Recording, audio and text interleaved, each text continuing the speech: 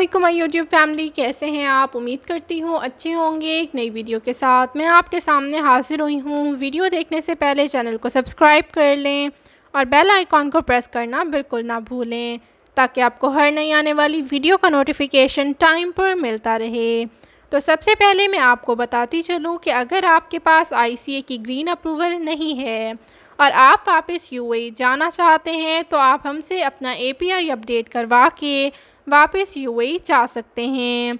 अब हम चलते हैं अपनी आज की खबर की तरफ़। दुनिया भर में इस वक्त कोरोना ने सबसे ज़्यादा तबाही भारत में फैला रखी है, जहाँ रोज़ाना लाखों अफराद कोरोना का ताज़ा शिकार बन रहे हैं।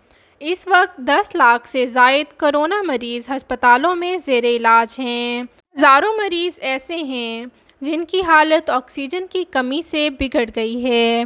और हज़ारों इसी वजह से दम भी तोड़ चुके हैं।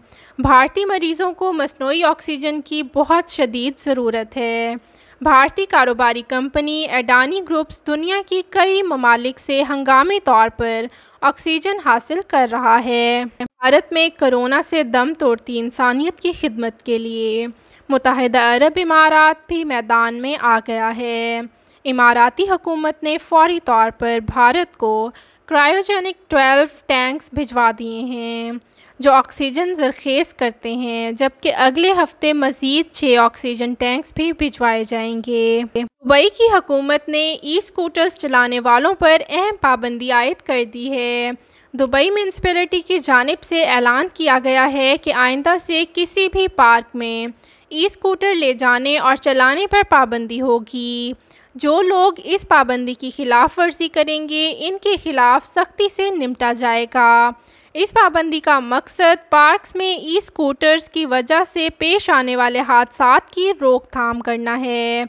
इसी तरह मोटरसाइकिल्स भी पार्क्स में ले जाने पर पाबंदी आयद की गई है। म्यूनसिपलिटी हुकाम की जानब से कहना है कि बहुत से लोग पार्क्स में इलेक्ट्रिक स्कूटर्स या मोटरसाइकिल्स लाकर वॉक के लिए मखसूस ट्रैक्स पर चलाते हैं। जिससे दीगर लोगों की ज़िंदगियों को ख़तरात लाक हो सकते हैं। इसी तरह लोगों को बाईसाइकिल ट्रैक पर वॉक करने की भी इजाज़त नहीं होगी।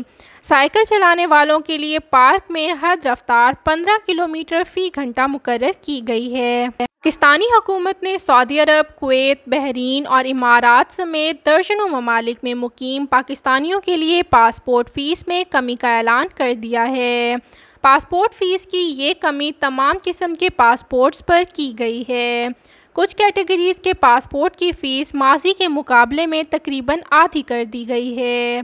दुबई में वाक़ पाकिस्तानी कौंसलेट के मुताबिक आइंदा से नया पासपोर्ट बनवाने या पुराने पासपोर्ट की तजदीद करवाने वालों से फ़ीस की मद में कम रकम वसूल की जाएगी, जबकि गुमशुदा पासपोर्ट दोबारा बनवाने की फ़ीस में भी कमी कर दी गई है। कोरोना की वबा ने मुतहदा अरब इमारात में मुकीम पाकिस्तानियों को भी बड़ी मुश्किल में डाल दिया है।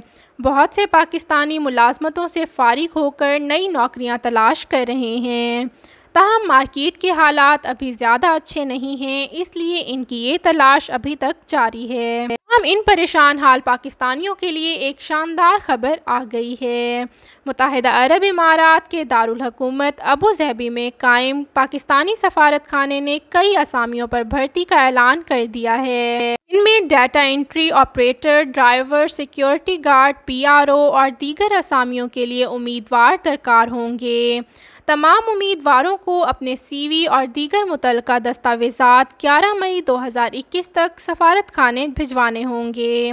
सिर्फ़ शॉर्ट लिस्ट किए गए उम्मीदवारों के इंटरव्यू और टेस्ट लिए जाएँगे। वाहिदा अरब इमारात, इन चंद एक ममालिक में से एक है, जिन्होंने कोरोना वैक्सीनेशन मुहिम के तहत एक करोड़ से जायद आबादी को वैक्सीन फराम कर दी है। कोरोना को काबू करने के लिए इमाराती हुकूमत शब रोज़ मेहनत कर रही है। इसके बावजूद बरतानिया की जानब से एक बुरी खबर सामने आई है। बरतानिया 17 मई से गैर ज़रूरी सफरी पाबंदी उठाने जा रहा है। लेकिन बरतानवी हुकूमत की जानब से यूएई को अभी भी रेड लिस्ट में बरकरार रखा गया है। इमाराती शहरियों को बरतानिया पहुँच कर अपने खर्च पर 10 दिन होटल में करंतना इख्तियार करना होगा। इस हवाले से बरतानवी ट्रांसपोर्ट सेक्रेटरी का कहना है कि इमाराती फ़िज़ाई कंपनियाँ इमारात और इतिहाद एयर ट्रांजिट हब की हैसियत से खदमात सर अंजाम देती रही हैं। यहाँ से कोरोना के फैलने का अंदेशा है, इसलिए इमारात को रेड लिस्ट में शामिल किया गया है। याद रहे कि मुतहदा अरब इमारात को रवा साल जनवरी के अख्ताम पर रेड लिस्ट में शामिल किया गया था। इस वक्त इमारात से सिर्फ़ बरतानवी शहरियों और वीज़ा होल्डर्स को मुल्क में दाखिले की इजाज़त दी जा रही है। अगर मेरी वीडियो अच्छी लगी हो तो लाइक, शेयर और सब्सक्राइब करना ना भूलें। आप मुझे इंस्टाग्राम फेसबुक और व्हाट्सएप ग्रुप में भी ज्वाइन कर सकते हैं। इनके लिंक डिस्क्रिप्शन बॉक्स में मौजूद हैं। इसके अलावा अगर आप हमसे अपना एपीआई अपडेट करवाना चाहते हैं तो आप हमसे हमारे व्हाट्सएप नंबर पर रबता कर सकते हैं। हमारा व्हाट्सएप नंबर आपको स्क्रीन पर भी नज़र आ रहा है और डिस्क्रिप्शन बॉक्स में भी मौजूद है। वीडियो को मुकम्मल देखने के लिए बहुत बहुत शुक्रिया।